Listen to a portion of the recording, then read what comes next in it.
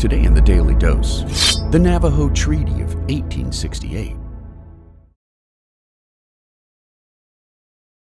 After years of violent conflicts between the Navajo or Diné people and U.S. forces, including the scorched earth tactics undertaken by Kit Carson, in 1862, U.S. Army General James Henry Carleton ordered all Navajos to be relocated to the Bosque Redondo Reservation near Fort Sumner in what was then the New Mexico Territory.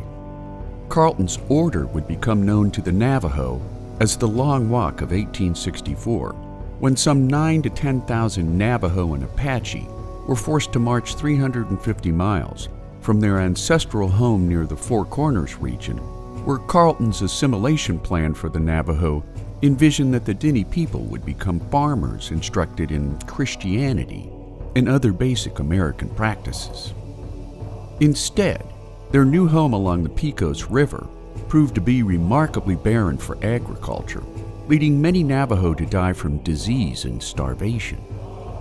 After federal subsidies to the Diné people exceeded $2 million, Congress removed Carleton from command and formed the Indian Peace Commission where Peace Commissioners William Tecumseh Sherman and Samuel F. Tappan at first proposed moving the Navajo to the Indian Territory in what is now Oklahoma.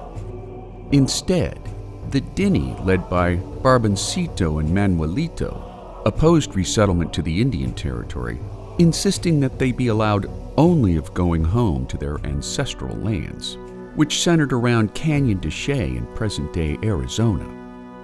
In total, 29 Navajo would make their mark on what they called the Old Paper, or Naaltsoos Sání in the Navajo, on June 1, 1868, which was ratified by the Senate on June 24th and signed by President Andrew Johnson on August the 12th, allowing the Diné people to return home after four years of deprivation and suffering.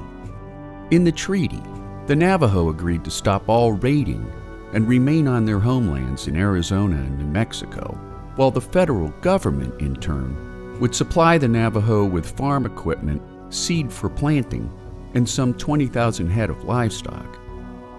The government also agreed to pay a $10 annual subsidy for 10 years to all Navajo families engaged in farming or mechanical pursuits, as well as 10 years of basic supplies intended to help the Diné people regain a strong foothold in their homeland.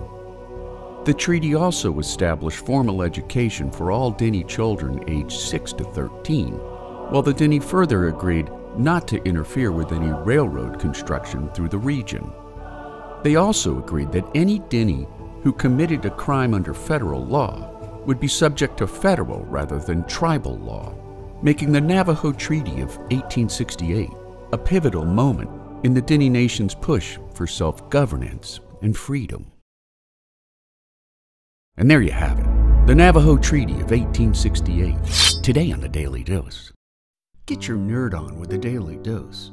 And if you enjoyed today's episode, share the link with a friend or colleague so that they too can learn something new every day.